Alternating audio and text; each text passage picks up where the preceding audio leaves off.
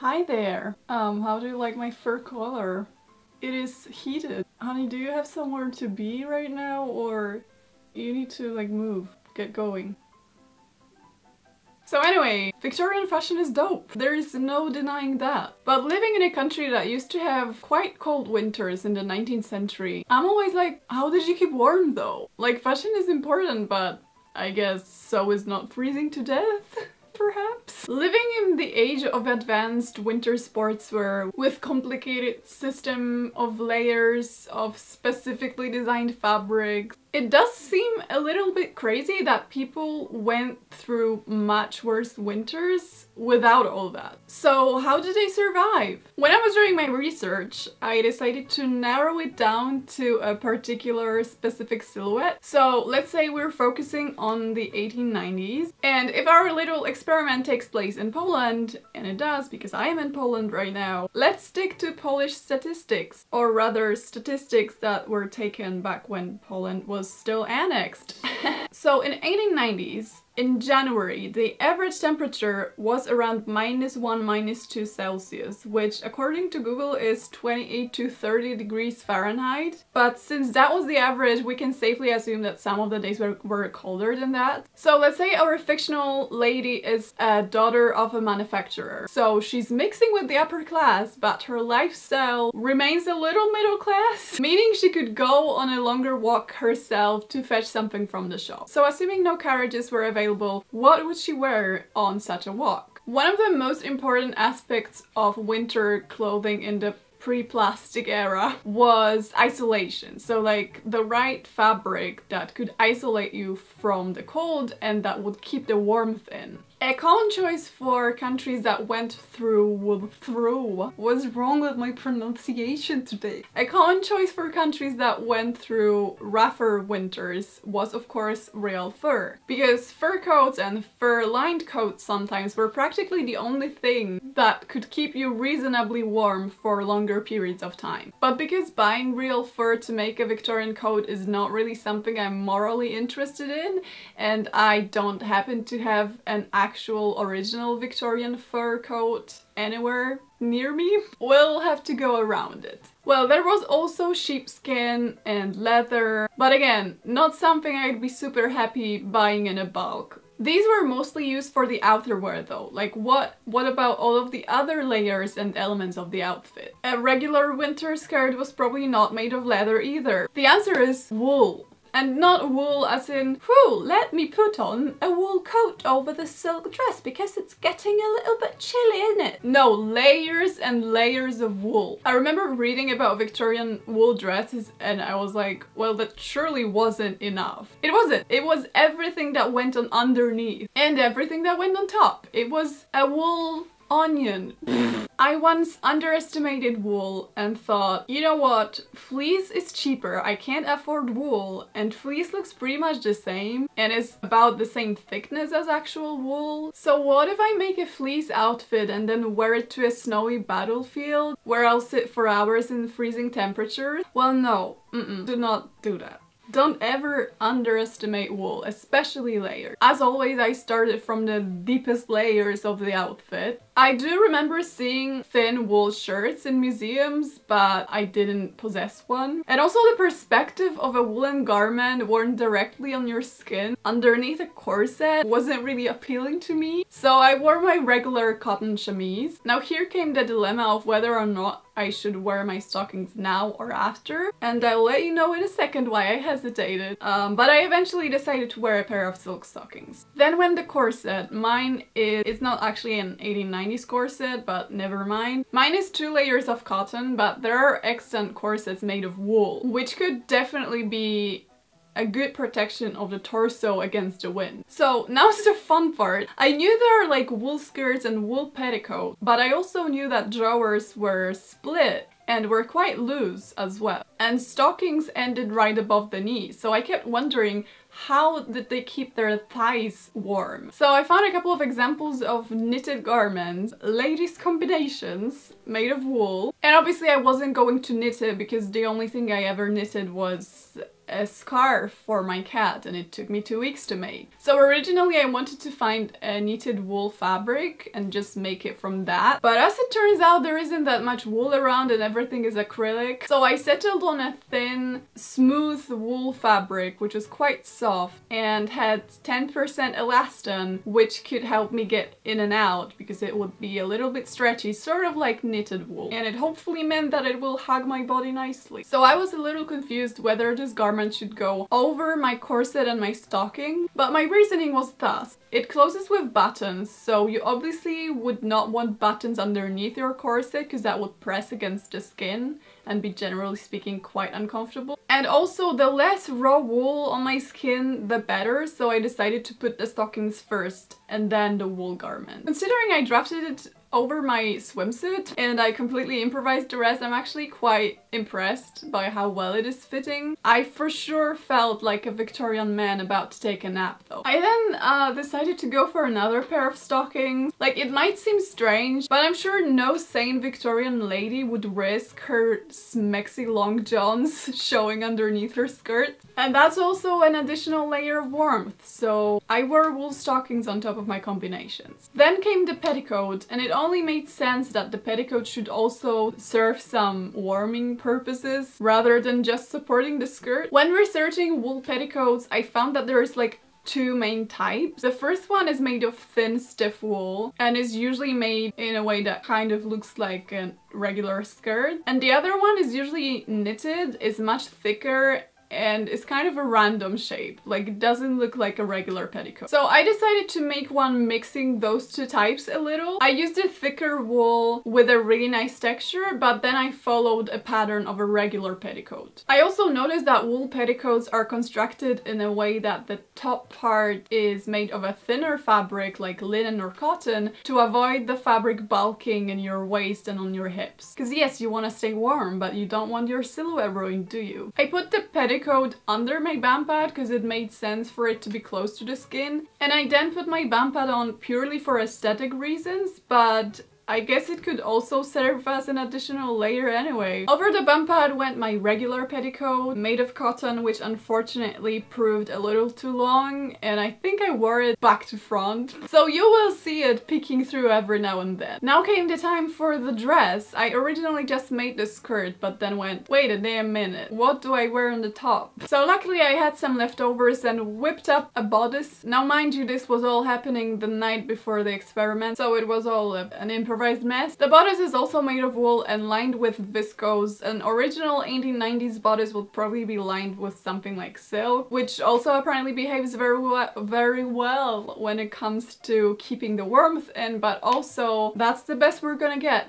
What do you want me to tell you? Then comes the skirt. I've noticed that a lot of Victorian skirts, especially those worn in winter, are actually a bit shorter. And honestly, that makes a lot of sense. Piles of dirty snow are not necessarily something you would want in direct contact with your skirt. Though I must say, together with the bodice, the length is slightly awkward. The shoes were a bit of a pain in the ass after I've put on all the layers, but since I was putting another pair of stockings over my wool combinations, I had to put my corset on before the shoes anyway. So I knew it's not going to be great. Now, if our hypothetical lady was about to take a carriage ride to the shop, she could wear carriage boots, which were kind of like overshoes to protect your footwear. But assuming she's just taking a walk, a pair of leather boots will have to do. I'm wearing memory boots, by the way. On top of the dress went a wool jacket lined with viscose. Again, it should probably be silk. The standing Dracula-like collar served not only as a cool fashion statement, but it also actually kept my ears and my neck a little bit warm. It was basically like a neck shield because following the paintings and the photos that I used as inspiration, I didn't have any scarf on. The last bit of the outfit was the accessories. I wore leather gloves and I wore a fur muff. It's made of a vintage fur collar that my aunt gifted me years ago and the fur is basically falling apart at this point. So I decided before it completely deteriorates, I might as well use it and make a muff out of it. And then came the hat. I'm pretty familiar with 1890s hat styles and a lot of 1890s fashion plates and most of the hats were worn on top of the head, even in winter. Now my ears are pretty sensitive and I have to cover them almost the whole year round and I'm not even joking. Like the slightest wind is gonna kill them. So I was desperately looking for a hat that covered the ears. And I settled on a small bonnet that had ties, strips of fabric attached to it, so when you tied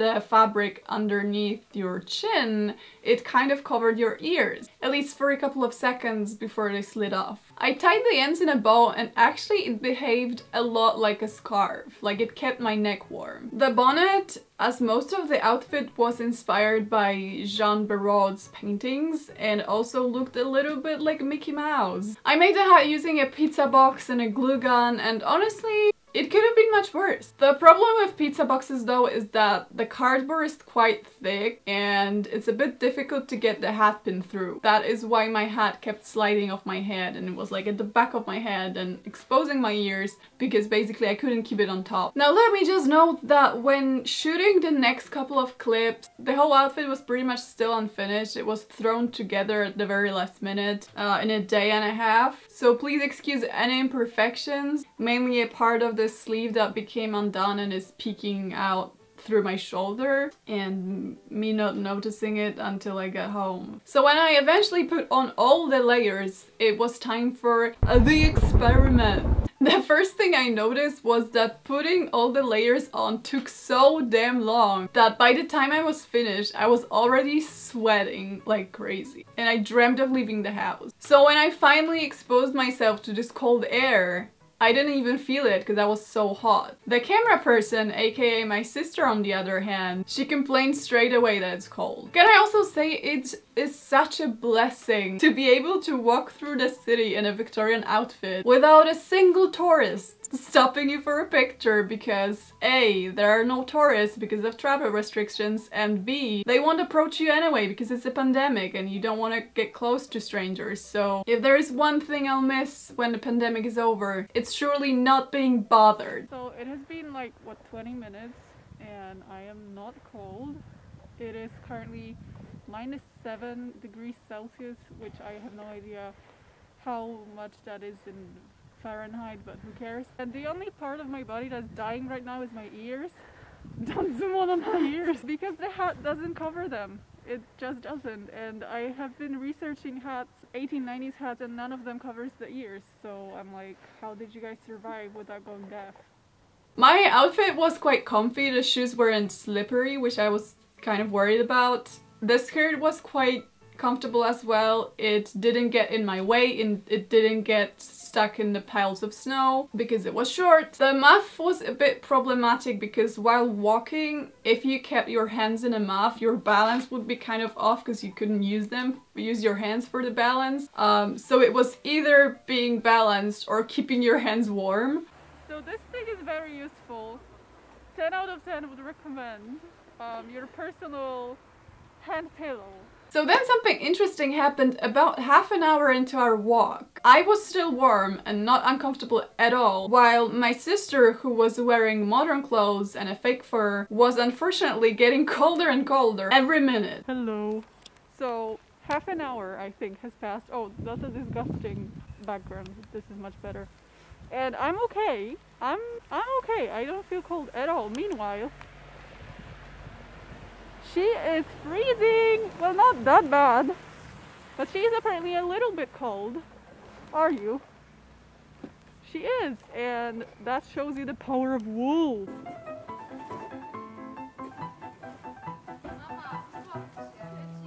Hello. Um, it's been, I think, 45 minutes or a little bit more it has gotten slightly windy, which made everything like 10 times worse. My ears are like on the brink of destruction right now. okay, not not so much, but they're basically like really cold. Um, but apart from that, and my fingers, I guess, which are like just leather modern gloves, I'm still okay. So, so far so good. I was also surprised at how much my corset helped at keeping me warm. Literally the part of my body that felt the most comfortable the whole time, like the cold didn't even get there, was my torso. Hello and welcome to the weather report. It is currently minus nine and I'm okay. I'm not. She's not.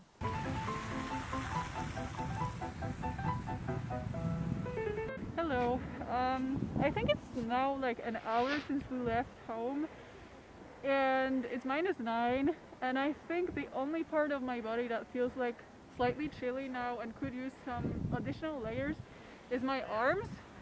And I think that's also because I don't have a wool petticoat on my arms obviously and I don't have like as many layers there. I don't have a corset and stuff like that so so our walk took about an hour and I returned um, pleasantly refreshed, I would say, while my sister's legs turned out to be lobster red and she had to spend the rest of the day under a blanket with a hot water bottle. So if you appreciate her effort, comment a lobster emoji, just so she knows she has your respect. Overall, I was a bit shocked at how well the layers worked at keeping me warm. I am quite used to low temperatures, but minus 9 degrees Celsius or 16 degrees Fahrenheit isn't necessarily a temperature I, I normally feel comfortable in, and yet I would honestly be completely okay with spending some more time outside. The only issue was the lack of ear protection, and I have to dig deeper because there must have been a fashionable way of not letting your ears freeze to death. I also think uh, wool petticoats should make a comeback because these things are cute. So summing up, I feel like we like to think of our modern solutions as the best ones so far, just because they're the newest. But we forget that there's a lot of factors that go into why we do things the way we do them nowadays. And some of those factors are just that some products are easier and cheaper to obtain and not necessarily better. So keep that in mind because wool is cool. That's